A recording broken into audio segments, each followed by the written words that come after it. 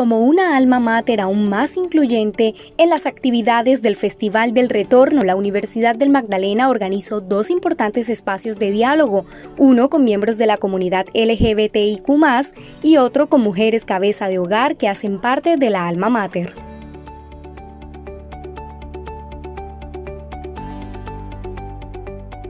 como colectivo, siéntanse orgullosos de la lucha quienes han estado antes que ustedes. Felicitarlos por alzar la voz, por reconocerse como diferentes, pero en ese sentido como seres humanos valiosos que son parte de esta institución y que nos hacen mucho más fuertes como institución. Durante la tertulia que tuvo por nombre Nuestro Orgullo LGBTIQ, estudiantes, docentes y funcionarios escucharon conceptos, anécdotas y experiencias de vida de la invitada especial Enri Cardeño Zuluaga, quien enfatizó en la importancia de identificarse como persona sin ninguna distinción. Un proceso absolutamente valioso. Felicito a la universidad no solamente por la actividad, sino también por sus 60 años y que sigan eh, regalándole a la sociedad y brindándole a la sociedad estos nuevos profesionales de bien. Es necesario y creo que debería ser algo que las universidades deberían hacer porque no solo, no solo por la manera educativa, sino la parte social en la que nosotros nos sintamos cómodos dentro de la universidad.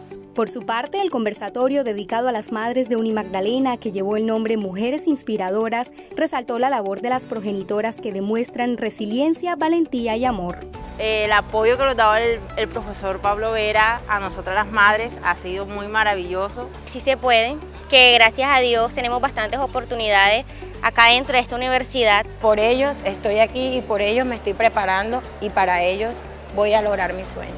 Gracias a ustedes por por seguir creyendo en su educación, sin renunciar a ser buenas madres, sin renunciar a intentar ser compañeras, esposas, sin renunciar a ser mujeres en un mundo difícil para ustedes. Feliz vida de madres y de profesionales. Gracias. Universidad del Magdalena, aún más incluyente e innovadora.